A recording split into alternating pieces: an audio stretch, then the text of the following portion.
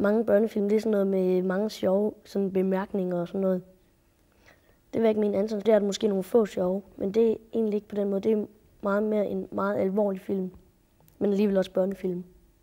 Min far var Danmarks bedste drakenpilot. Jeg ved, du lyver. Vi ligner rimelig meget hinanden på nær lige, at Anton bliver mobbet rimelig meget i skolen, og det gør jeg ikke normalt så. Og Anton titter til ting, gør jeg heller ikke. Det er meget svært at, spille, altså simpelthen spille så alvorligt. Fordi at... Også fordi nogle gange skal jeg også være meget glad jo. Sådan, det har været på den måde. Det er ret svært. Esther, hun, er, hun, hun mobber Anton meget, men hun, hun gør det bare ikke sammen med de andre. Jeg gider ikke snakke med jer. Fatter ikke, du gider rende rundt med mig.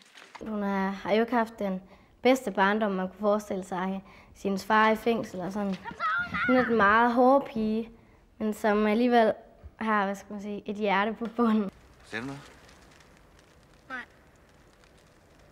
Jeg tror, jeg er en helt anden næste. Jeg har, jeg er vokset op i et sådan meget mere normalt miljø, end hun er. Og jeg,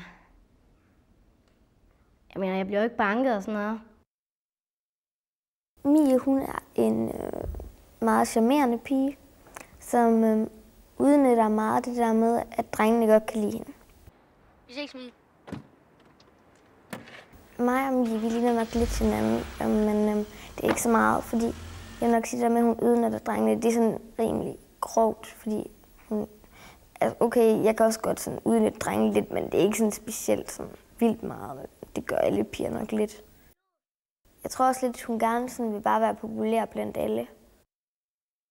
Børn er- til det, som er, spændende og underholdende og farligt. Mm. Og det er den her film også. Det kan godt være, at der er så meget andet, der også er, men den her film er det også. Mm. Det er en usædvanlig børnefilm, fordi at den er, øh, den vil noget, samtidig med, at, øh, at den er underholdende og, og, og farlig. Jeg er meget stolt af den måde, ungerne spiller i den her film. Det synes jeg er helt enestående for dansk film. Usædvanligt godt.